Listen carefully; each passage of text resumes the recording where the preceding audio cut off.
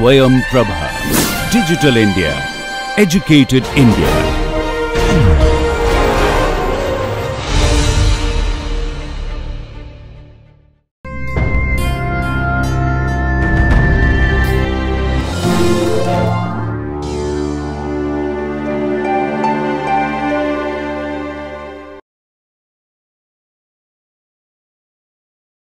In this lecture on Thomas Gray and his elegy, elegy written in the country churchyard, we will begin with a historical and literary context, discuss Gray's uh, life with reference to a few key points, then discuss the number of graveyard poets who were able to form a movement called Graveyard School of Poetry. Discuss the selected passages from the elegy written in a country churchyard.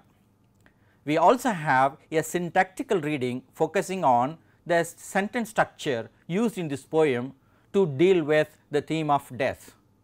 And finally, we will have a post structuralist reading which tells about the self referentiality within this poem. A few key points we can recall in the context of Gray's writing. Robert Walpole was the first prime minister of England under two kings, King George I and King George II. Robert Walpole was a very astute politician and businessman. He was able to manage many different kinds of political situations. And he was the father of Horace Walpole, a close friend of Thomas Gray. And Walpole was incidentally a pioneer of the Gothic novel, which also has something to do with this graveyard school of poetry and pre-romantic movement in writing in England at that time. Many writers were able to survive with the goodwill of Robert Walpole and Lord Hervey. In this difficult time, Alexander Pope survived despite the presence of Walpole and Hervey. But Gray had no such interest in the politics of survival. In fact, he refused the poet laureateship when it was offered to him and also rejected the demand for some public lectures. He went on to reflect profoundly about the human condition because of the many deaths in his own family. Thomas Gray by nature was a withdrawn and melancholic person. He was thinking about life deeply because of the many deaths in his own family. However, he pursued higher studies and received a degree in law, though he did not become a lawyer and practice it. He loved writing, so he wrote in Latin, translated from Latin, he wrote in English. He was contemplating about life, so he was more of a poet of contemplation than of action. He was able to get recognition widely because of his friend Horace Walpole, who sent the manuscript to different groups, circles in London. Gray was a close friend of Robert West and also William Mason. West unfortunately died and in fact, he was one of the reasons for writing this elegy written in a country churchyard. Later on William Mason was publishing all the poems of Thomas Gray. Gray was known for a few poems like the Progress of Poesy and the Bard, but primarily he was known for this elegy written in a country churchyard. Who are these graveyard poets? What did they do? This graveyard school of poetry was a serious phenomenon of the late 18th century. The poets of this group had their setting in a graveyard or a church. Death and loss were the prominent themes in their poems. They were highly introspective and meditative and as a group they became the precursors for romantic poetry in 19th century. We have a number of prominent poets and their poems of all these Gray's elegy written in a country churchyard stands apart.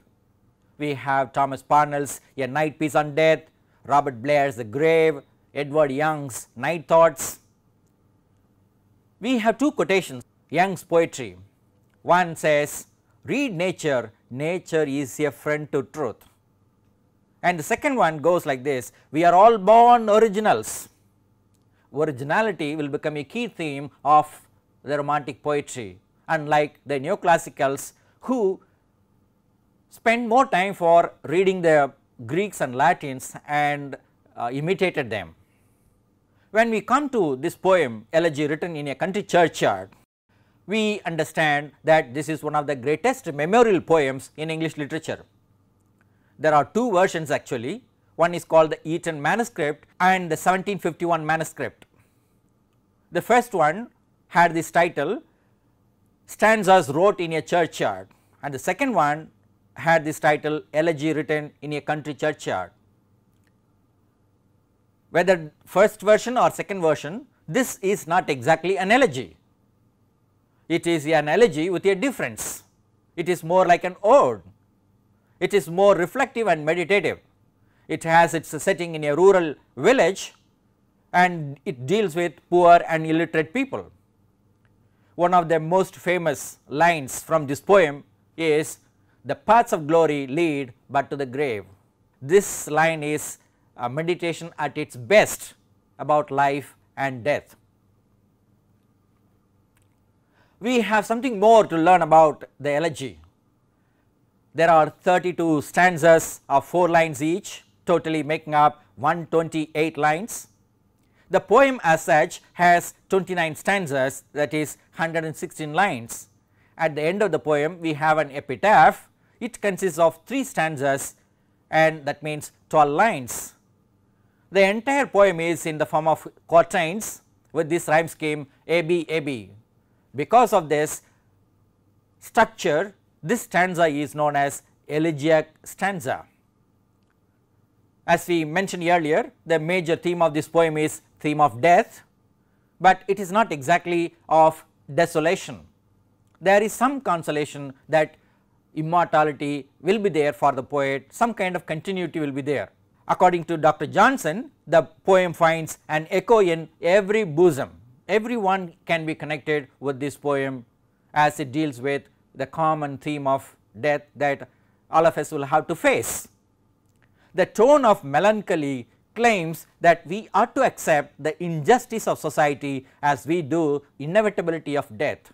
That is what William Empson says about this famous elegy. We have some selected passages now, we will begin with stanza 1 and 2 and continue reading and then do some analysis. The curfew tolls the knell of parting day, the lowing herd winds slowly over the lea, the ploughman homeward plods his weary way, and leaves the world to darkness and to me. Now fades the glimmering landscape on the sight and all the air a solemn stillness holds save where the beetle wheels his droning flight and drowsy tinklings lull the distant folds. Some underlining like this we have done for day and way to indicate the kind of rhyme that this poem has. The first stanza is very famous for the exact typical iambic pentameter that we have in English literature. It also has many other complications, many critics have pointed out the different kinds of difficulties, the challenges this particular poem poses. Next stanza 3 and 4 Save that from yonder ivy mantled tower the mopping owl does to the moon complain of such as wandering near her secret bower molest her ancient solitary reign.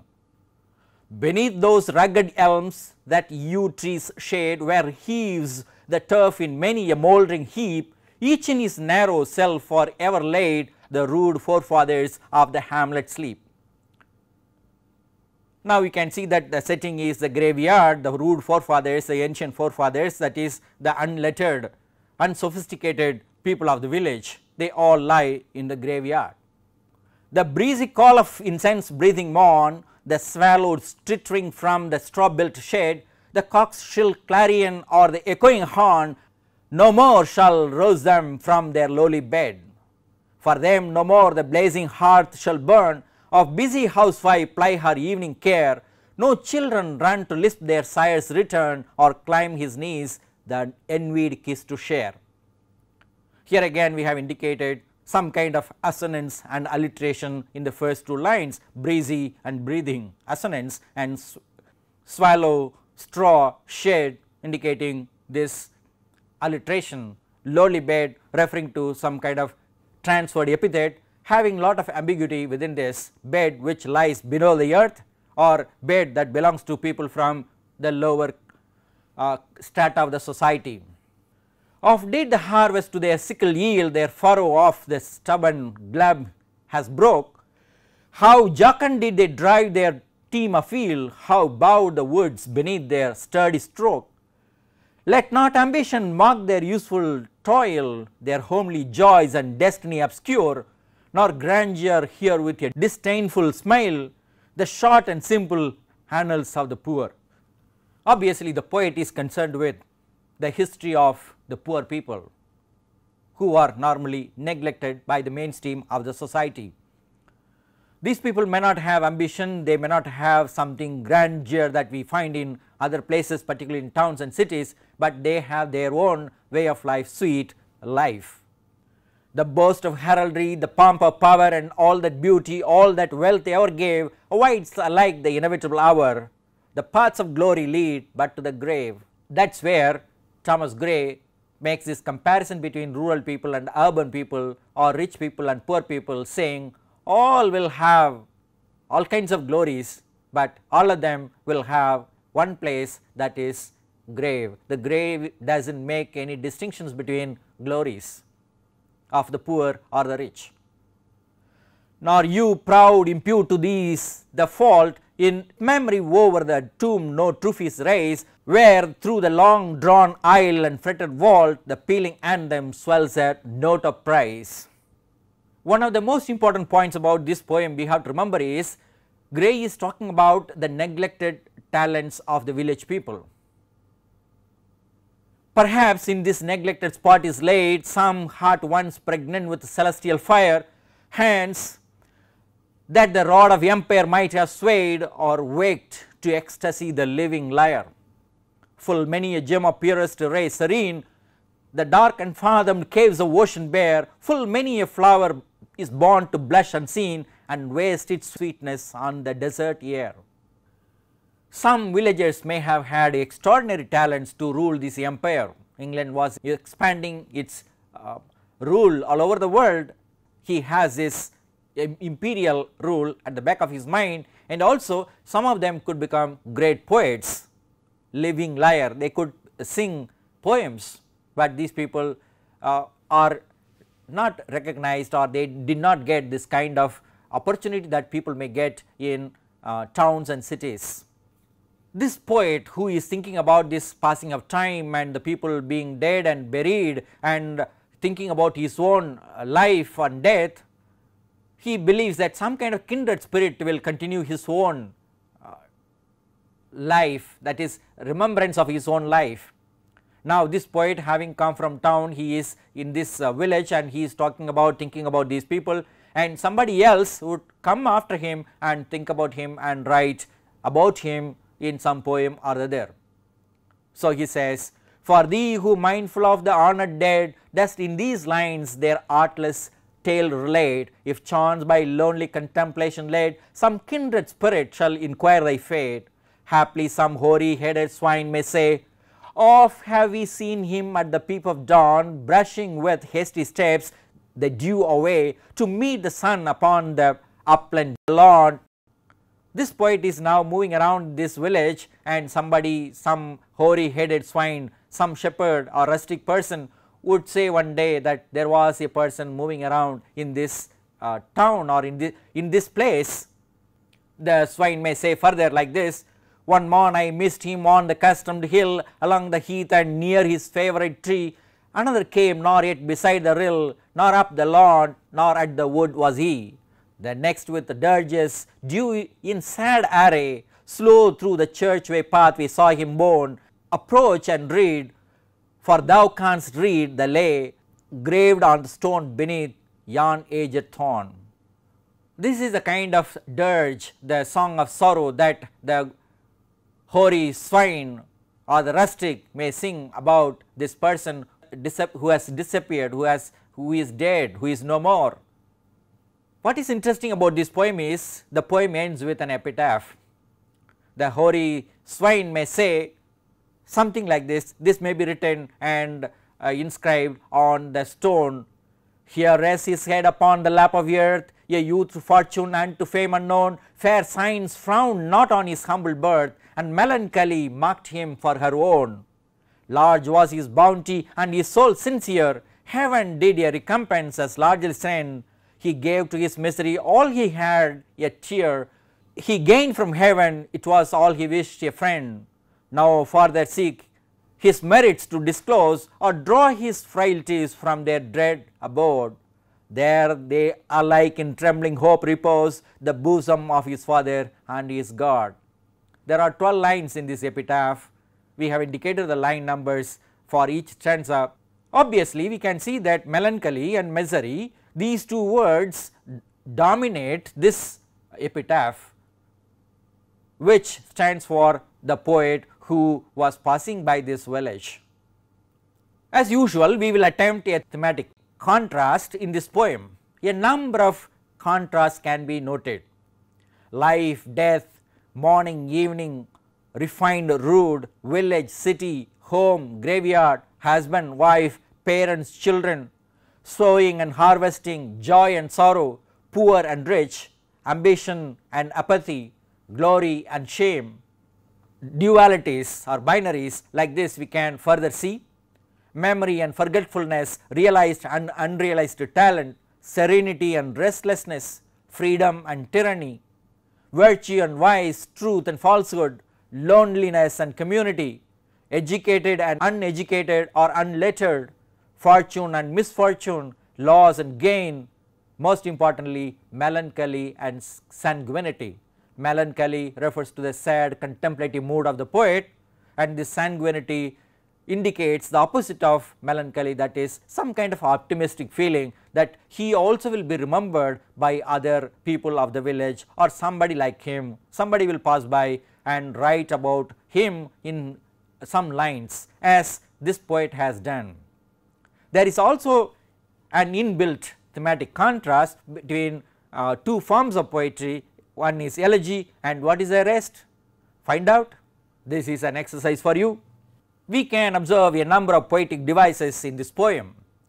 How does Thomas Gray communicate his serious thoughts about the theme of death in this elegiac poem? First we begin with transferred epithet his weary way, the way itself is not weary, but who is walking tired it refers to the person who is walking tired. Almost like zeugma we have one line and leaves the world to darkness and to me.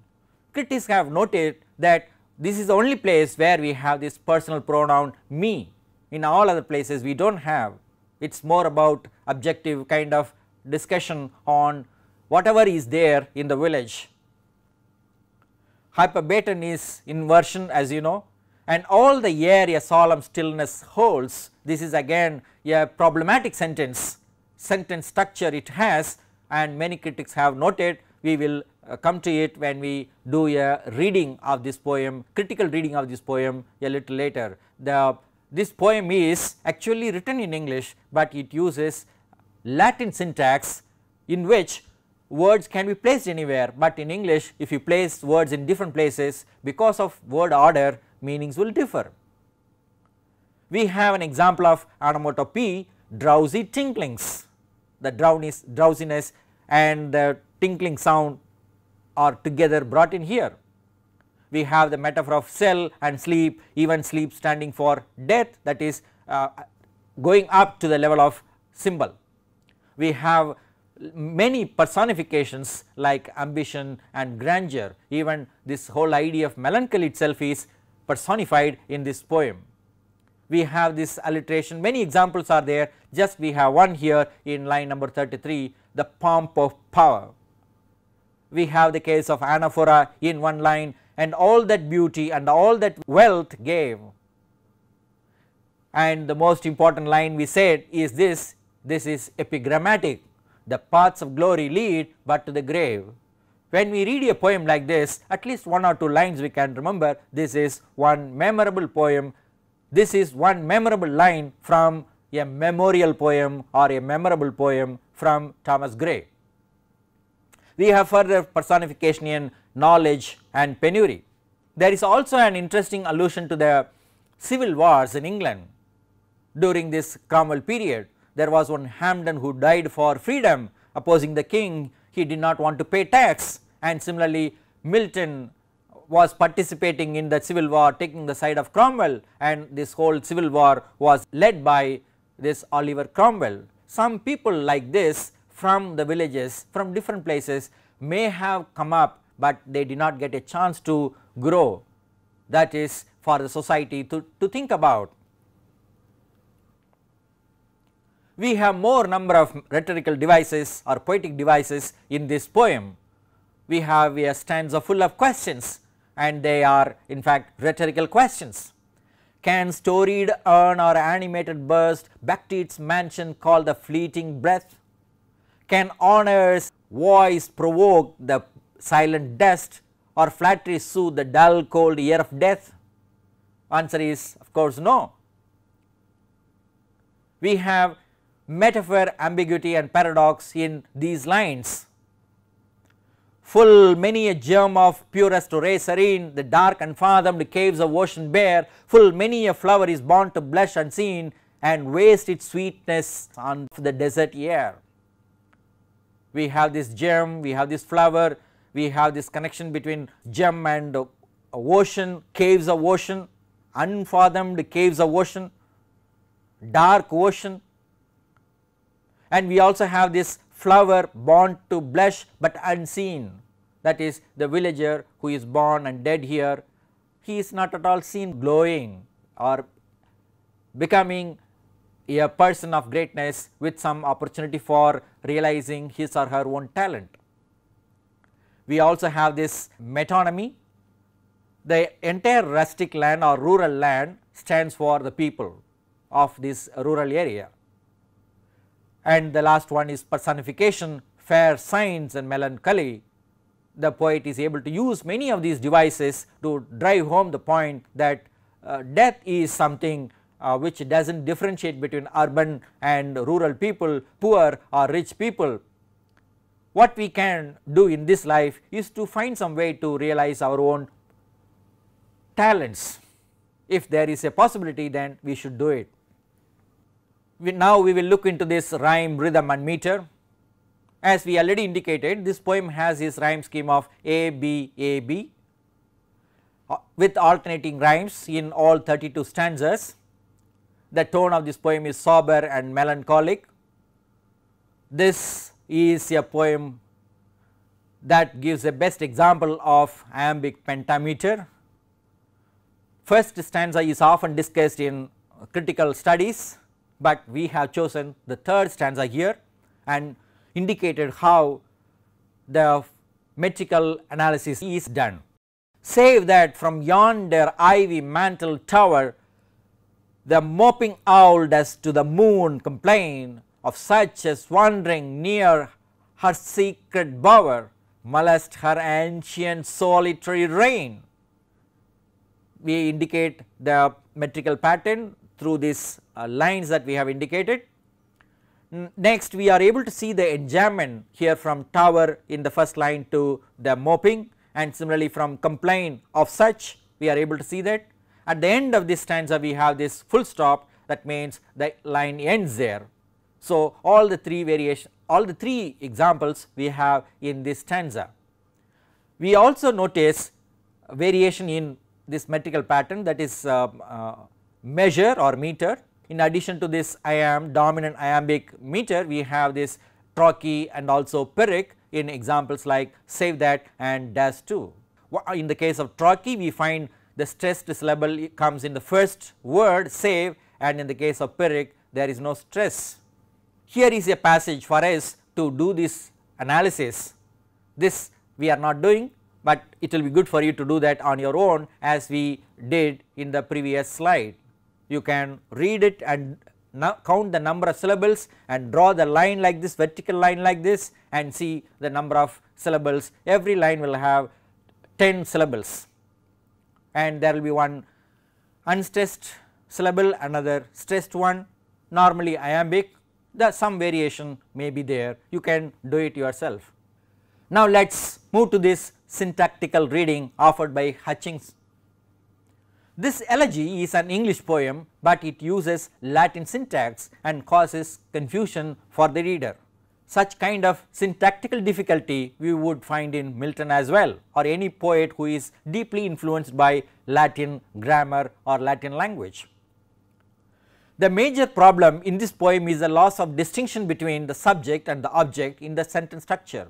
If you do not maintain that word order properly, then which is the subject, which is the object we will not know. So, this subject and object they are collapsed because of this ambiguous word order. Similarly, some verbs are used in different ways. In this case, we have an example tolls in the first line. Is it used transitively or intransitively? Both meanings could be derived that is what critics have attempted. Similarly, the whole stanza can be rearranged possibility of rearranging lines in the very first stanza many critics have pointed out. Further we find problems with the part of speech whether the word is singular or plural for example heard we, we have some difficulty. So with all these difficulties syntactic, lexical, verbal difficulties the poem poses extraordinary difficulty causing or leading to instability in the poem and Hutchings calls it fluid syntax and he claims that is this fluid syntax is a key to understanding Gray's elegy. One example that he gives is this and all the air a solemn stillness holds. We use this as an example of inversion and all the air a solemn stillness holds it could uh, be like this rearranged like this and a solemn stillness holds all the air and it could be rearranged in some other way depending on somebody's uh, critical viewpoint. What this whole poem is about death, how do we achieve death in, in the poem itself that is what is something interesting many critics have observed. Death means turning the subject into object and death is certain, but we are uncertain about it that is the beauty of this poem and also of our life. We have a post structuralist reading from a critic called Bygrave. He begins giving the two common readings normally readers have towards this poem. First the poem becomes the epitaph it claims to become. The whole poem of 29 stanzas attempt to become this epitaph that is one reading. Another reading is the poem dramatizes the Augustan ideal under stress incapable of being extended to accommodate certain forms of personal rather than common or social experience. We saw in the case of Dryden and Pope more of social experience is brought into their poems that is where we saw Pope was able to accommodate some personal experiences, but when we come to pre-romantic poetry we find more efforts to bring in the personal. This particular poem dramatizes the conflict between the two and then Bygrave offers a post structuralist reading. Gray unable to belong to the city comes to Stoke Poges that is a village, but then he is an outsider here though he glorifies the rustic environment. What we find in Gray is that he is not able to belong to the town nor to the village. So, he has to find a way of establishing himself through this achievement of immortality.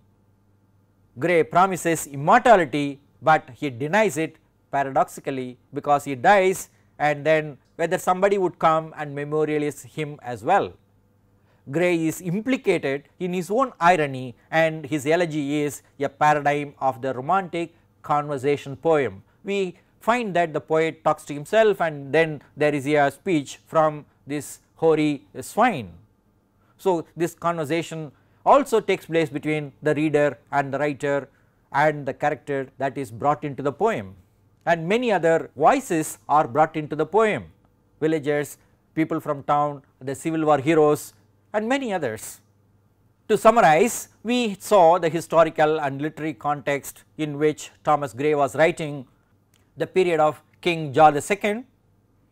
There was a movement called Graveyard School of Poetry to which Gray also belonged because most of them were writing about graveyard and the theme of death.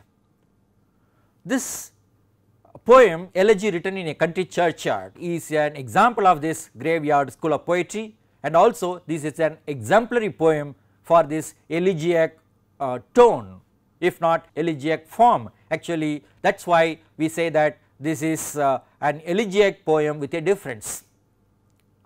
We looked into some passages from this poem and analyzed read the poem with reference to poetic devices, thematic contrast, rhyme, rhythm, meter and then finally offered two readings. One is syntactic reading actually the reference is called syntax of death. It is a very interesting article I would suggest you to read it you can see that reference just now you can see that. Then we have this post structuralist reading from Bygrave saying that Gray implicates in his own irony and he denies the immortality that he talks about. Here are the references particularly the one on Hutchings I enjoy reading much more syntax of death instability in Gray's elegy written in a country churchyard. Hope you too enjoy reading about the syntax of death in Gray's poem elegy. Thank you.